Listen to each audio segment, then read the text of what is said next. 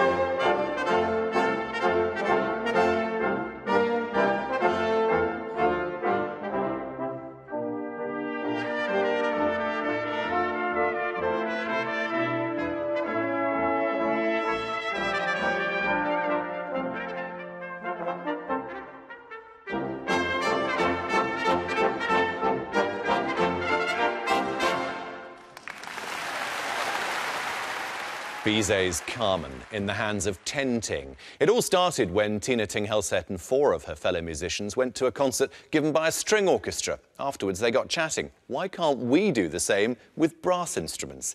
Here they are again, playing music from Kurt Weill and Bertolt Brecht's Threepenny Opera.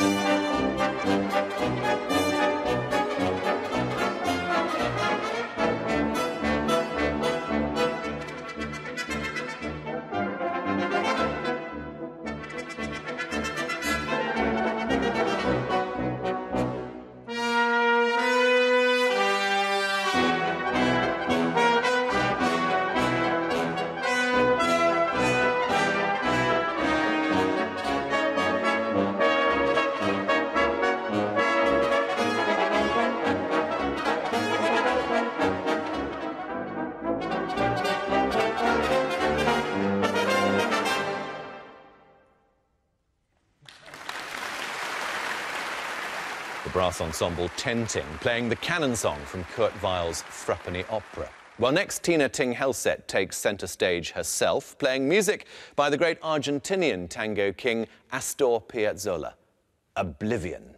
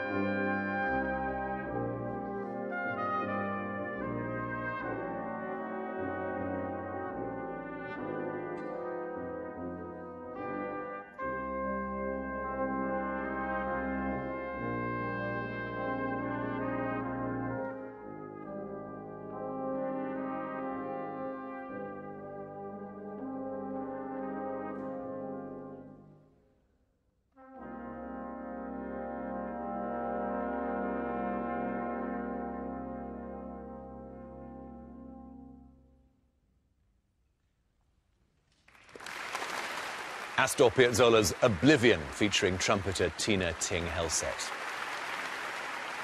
Well, all of tenThing's members are Norwegian, so highly appropriate that they end their Cadogan Hall prom with works by Norway's greatest musical son, Edvard Grieg, beginning with the prelude to his Holberg suite.